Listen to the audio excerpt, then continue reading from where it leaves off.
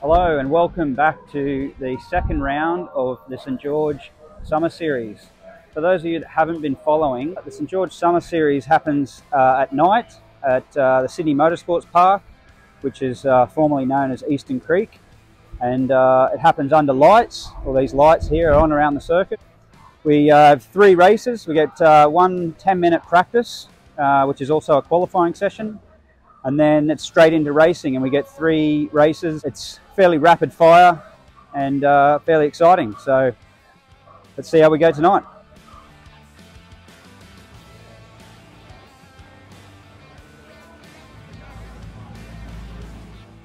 Riding these events isn't part of my championship program, so I'm not being paid to be here.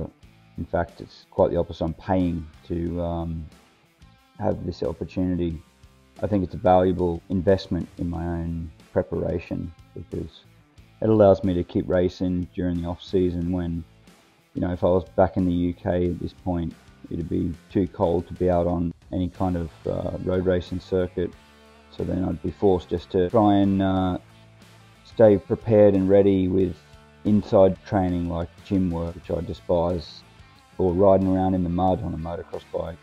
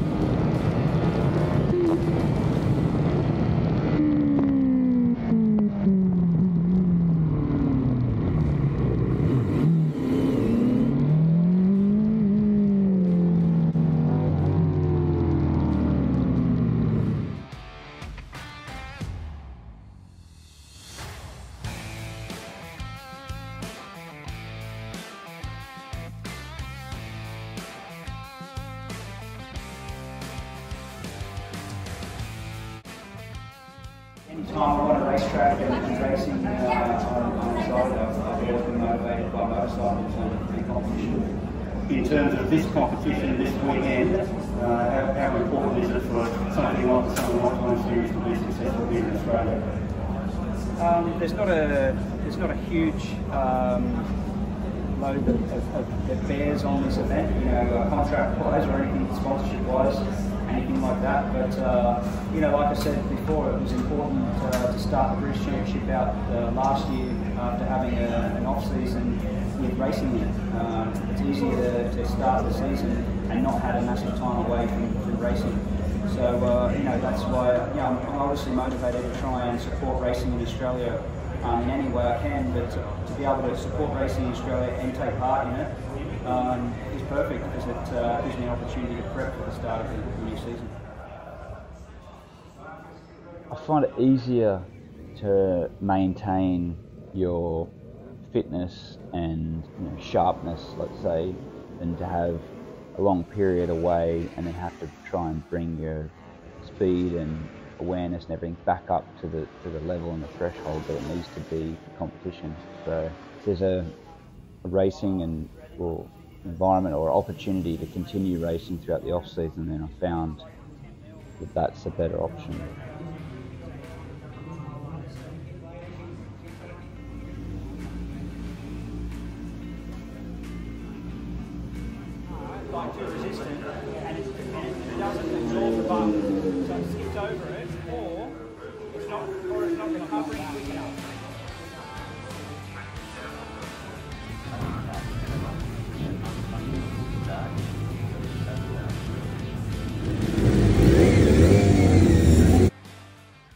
These events are a part of a club series.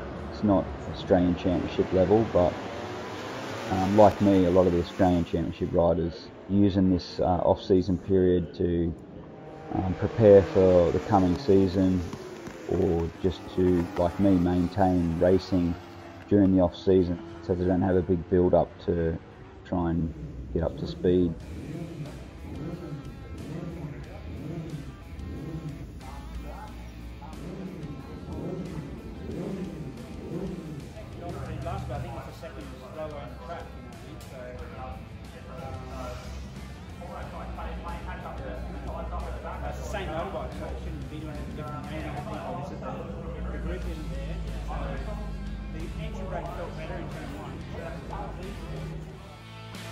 So for most rounds of this series, the level will be set to the standard of what Australian Superbike Championship competition will be. And at some rounds, uh, who turns up will determine how strong the competition is.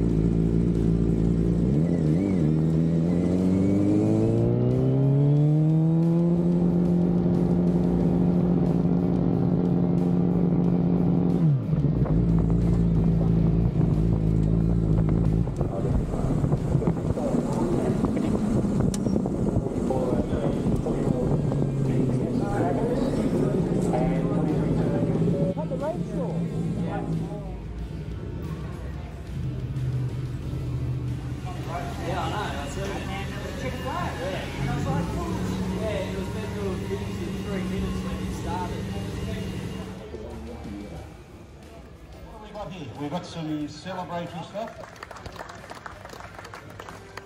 got recognition of this award when I was away, I think, racing in Macau. So I wasn't able to uh, be there on the night to uh, receive it. But um, it's, it's great to uh, receive some recognition. I hope I do actually bring recognition to Australian racing and, and more uh, importantly, motorcycling New South Wales. So yeah, it's a great pleasure to, to receive the award and hopefully, yeah, there's more um, exposure to racing in Australia as a result of what I can do. Thank you very much. Road Race Rider of the Year for 2023 to Joshua Brookes. Well done, congratulations again, Joshua. We'll see you back up here later.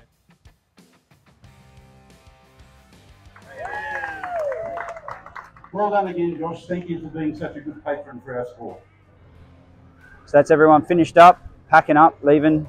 It's been, uh, as you can probably see from the sweat on my face, it's been a really hot day here. Uh, it's still quite uh, hot here tonight. The pace was uh, quite strong and I unfortunately only was able to manage a third and two seconds. So I need to improve something, either gain some more skills or, or improve the motorbike. But uh, yeah, I'm pretty happy with what I did. I felt like I rode the best that I could. I, I put uh, all my best efforts forward. So yeah, we'll just have to uh, see what we can improve before the next round. And the next round's a double header, so it's a Friday and Saturday night. So it's quite important that we improve something and uh, put a put a stronger fight up and try and get back at the front.